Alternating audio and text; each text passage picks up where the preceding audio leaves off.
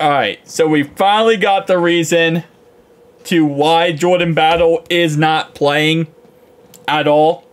I mean, like, literally has two snaps the whole year, or four snaps, whatever. It's like less than 1% of the snaps. Um, we finally got the reason why he's not playing. And shout out to Lou Anarumo for finally revealing it after four weeks of me screaming about it on camera every single day. The reason? This. When he came in, Jordan Battle that is, he just started off a little bit slow in training camp for whatever reason. Jordan has progressed as we've gotten better. So if he continues that upward trend, then we'll work with him in there. What? What? No! What? Give me more!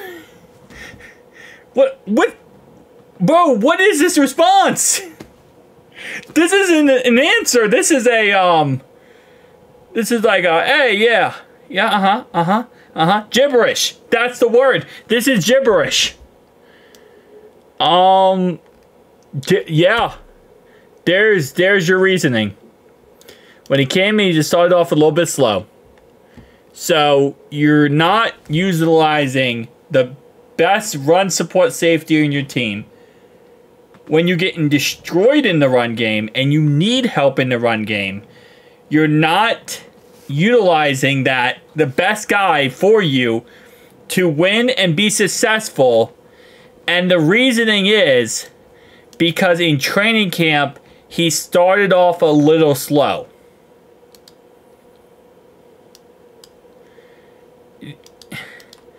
I, I like I like the idea of not knowing what the reason was because then I could at least come up with a good reason in my head.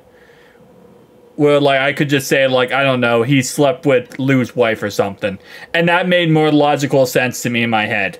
Now that I know the actual reason, I I don't I don't want to know the actual reason because the actual reason seems stupider than my reasoning of he slept with Lou's wife which could still be the reason. At this point, why not? Because this is like, what? He has progressed as we have gotten along. So, if he continues that upward trend, then we'll work with him in there. So, I'm like trying to read in between the lines here. Are they saying that he's a, like an attitude problem? Is this like an attitude thing where him and Lou aren't getting along? Do they need to go through couples therapy? I will orchestrate this couples therapy if it means we can shut down the run. Okay, we could sit down on the channel, have a whole live stream. We could all enjoy ourselves and they could talk out their problems. Is this a personal thing? If he continues that upward trend, then we'll work uh, him in there. So, pretty much, let's let's do the professional breakdown of this. What he's saying is that he's he came into training camp, started off slow, and there's something about him right now that stopping them from playing him.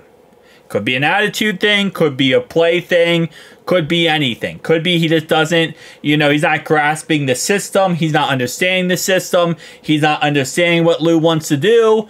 So, because of that, you know, he's getting better every week. They're giving him one to two snaps a week. And as time goes on, they're going to utilize him more. And if he continues to learn, get better, develop, you know, off the field, and they don't see him more as a liability on the field, then he's going to get more snaps. That's the logical truth of what this is saying. I like to go with the more comedic value because I think it's absolute horse crap. That's my that's my analysis. See, this is why I don't get hired by ESPN. I, I put on I I write a whole entire article on ESPN. Horse crap. Put a picture of Lou's face. Um, I get it. I do get it.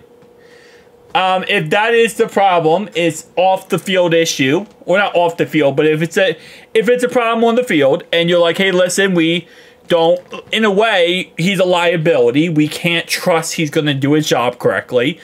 When he did really good last year and did amazing last year, then I, I, I feel like that's kind of counterintuitive. But if that's the case, right? If that's the case, cool. But at some point, and I said this with Moma uh, Jungmita when he playing one snap and it's like so far this year. I understand that you're like, well, we think it's not best that we have him out there. Because last year, I mean, last week, Lou went off, man. Lou went off against the Panthers. He said, you know, I, I didn't play Cam Taylor Britt on some series because he uh, he wasn't playing good. So he goes, if you're not playing good, I take you out. Simple as that. So like Lou was like spitting here, and then obviously he lit this one up, but he lit up um, Cam Taylor Britt in this press conference. Um, but if that's the case, right, and I understand, like you're like, hey, listen, it's just not working, right? But if you're in a game, right, and you're getting absolutely just like smashed, railed up the wall, you know, like Pornhub is commenting, it's calling you up to get on their service. Like, if you're getting that bad by your defense, and trust me, last couple weeks, our defense against the run, you could put that on a website and you would get a million views. You could just say, um, grown defense getting rammed up the wall, right? And that's the case. At some point, you gotta do, you gotta try something new. Like, to sit there and say, all right, we're to keep that same defense, guys, same defense, and get destroyed the whole game It's just stupid. This is stupid. You have guys on the roster who, even if you're like, hey, this guy's the liability, Jordan Battle's a liability. If he's a liability, I'd rather put him out there and he messes up and he looks like an idiot than sit there and watch them run straight down our throats every single play if he goes out there and makes one good tackle and looks like an idiot the rest of the game, but he makes that one good key tackle, I'm okay with that. Right? I, I will then say, okay, maybe this is why Battle isn't playing, right? Maybe that's why. But if that's the case, then again, that's the case, just do something. Okay, and I understand if we're doing very well in defense, right? We play Kansas City. We're doing really well in Kansas City's game. We're playing great. We're doing awesome. And they're like, hey, listen, our defense is looking good right now. We're not going to put in Jordan Battle for that said reason. I'm okay with that. And if this is the reasoning why, is that they don't, he's a liability to them on defense, right? I get that. But if you're going against commanders and your defense looks like a freaking high school defense out there, I don't care what your reasoning is, put him out there. Okay? Because what's the worst that can happen? He's a liability. Your 11 men you're putting out there right now are liabilities. The defense you're calling right now is a liability. The defense you're calling right now is bad. So put someone out there. Try something new. What's the worst that can happen? Jayden Daniel puts up 400 yards instead of 350. Like, I understand this narrative. If our defense were playing good every single week this year so far, they've been playing amazing, absolutely crazy good. I would say, you know what, Lou? I understand. I would say, Lou, I wish you would have told me this week one and not week four. Clearly, you have some problems in, um, you know, your timing. We'll work we'll work that out on stream with your marrying marriage marriage counseling um, with Jordan Battle. We'll work that on stream. But if that was the case, right, our defense was like top five, you know, like crazy good, and Lou said this, I'd be like, okay, yeah, I, no, I understand that.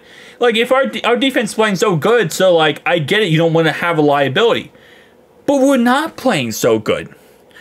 We're playing Whitney Head Junior football out there. And we're looking like middle schoolers against grown men. Like, I almost called social services three times in that Commanders game. Because I thought we were watching kids get freaking destroyed. Like, we have to do something. And even if he's a liability and he's getting better and he's growing, like, so this is not an injury.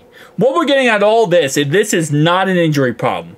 This is a problem of as they say, a coach decision. This is a coach decision. This is a personal issue between the coach and the player.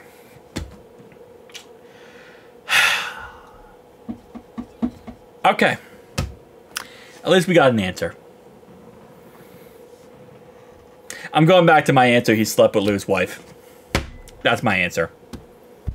Peace out, guys.